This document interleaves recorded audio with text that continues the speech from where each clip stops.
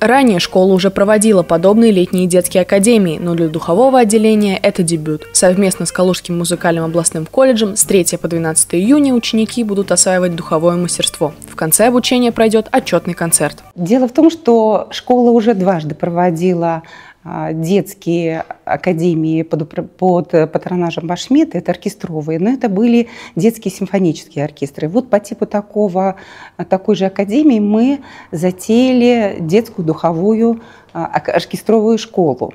Но особенность этой школы в том, что она является одним из этапов вот мероприятий, которые мы проводим в рамках вот э, наших развития духового отдела. За три месяца каникул маленькие музыканты часто забывают свою программу, и чтобы освежить репертуар в памяти, требуется время. Участие в оркестровой школе позволяет ребенку закрепить пройденный материал и получить новый опыт. Цели обучения, а, их несколько. Во-первых, это познакомить детей, которые не знакомы с оркестровой практикой, вообще ансамблевая практика очень важна в процессе обучения детей. Они совершенно по-другому вообще видят музыку, совершенно по-другому ее чувствуют и вообще вовлекаются в процесс обучения с э, гораздо большей интенсивностью. Получение нового опыта немаловажно и для молодых преподавателей, в том числе опыта работы с детскими коллективами. Важный момент эм, профориентация, так называемая. У нас в Калуге есть замечательный колледж имени Танеева.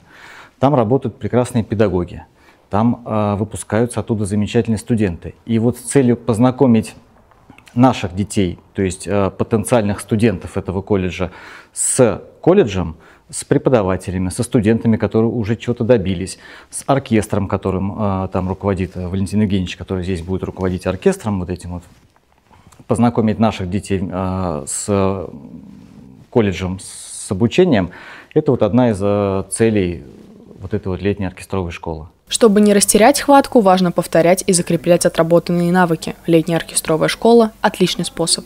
Софья Тихонова, Евгений Соколов, Обнинск ТВ.